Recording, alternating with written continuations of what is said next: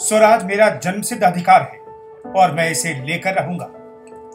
ये नारा भारतीय स्वतंत्रता सेनानी बाल गंगाधर तिलक का है।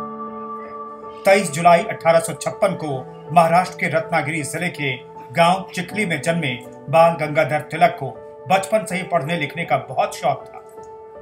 तिलक हमेशा हिंदी और हिंदुस्तान की बात करते रहे। अंग्रेज़ी शिक्षा की खुलकर आलोचना की। भारत में शिक्षा के प्रचार प्रसार के लिए दक्षिण शिक्षा सोसाइटी की स्थापना की। पर बहुत कम लोगों को पता है कि तिलक जी एक प्रेरणादायी पत्रकार भी थे। भारतीय पत्रकारिता के महान पुरखे बाल गंगाधर तिलक जी की अगर हम बात करें तो उनका व्यक्तित्व और कृतित्व इतना बहुआयामी है, इतना विशाल है विस्तृत आकाश की तरह है।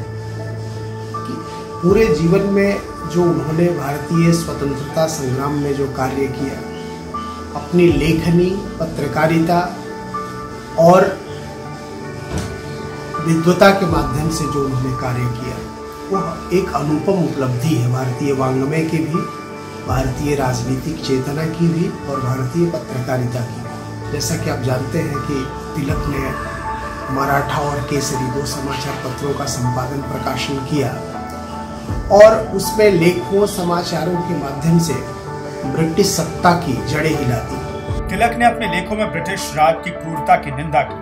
उन्होंने ब्रिटिश शासन के खिलाफ अंग्रेज़ी में मराठा दर्पण और मराठी में केसरी नाम के अखबार की शुरुआत की। उनके छपे लेख आज़ादी के दीवानों में एक नई ऊर्जा का संचार करते थे।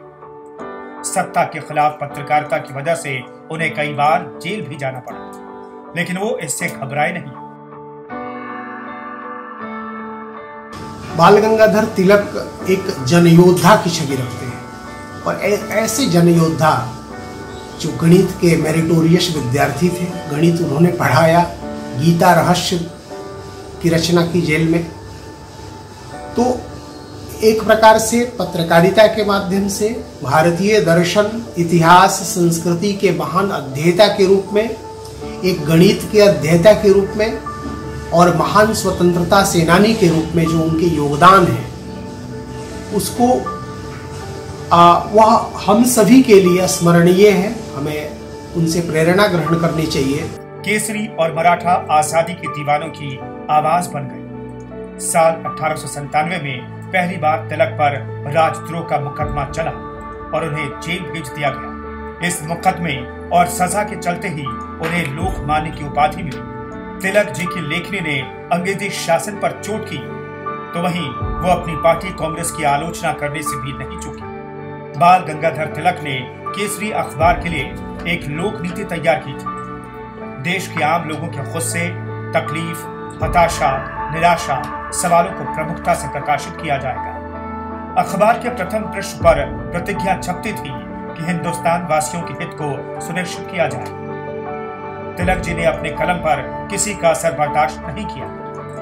बाल गंगाधर तिलक की पत्रकारिता ने 20वीं सदी के प्रारंभ में स्वराज की भूख पैदा की और सांस्कृतिक संचेतना फैलाने का काम किया। वे भारत के आत्मनिर्भर होने की बात कर रहे थे और स्वराज को स्वदेशी से जोड़कर लोगों को जागरूक कर रहे थे। बाल गंगाधर तिलक ने बतौर पत्रकार जो भूमिका निभाई, उसका आज़ादी के आंदोलन पर गहरा असर हुआ। नए सुधारों को निर्णायक दिशा देने से पहले ही 1 अगस्त 1920 को मुंबई में तिलक जी का निधन हो गया। महात्मा गांधी ने लोकमान्य को आधुनिक भारत के निर्माता की उपाधि से नवाजा।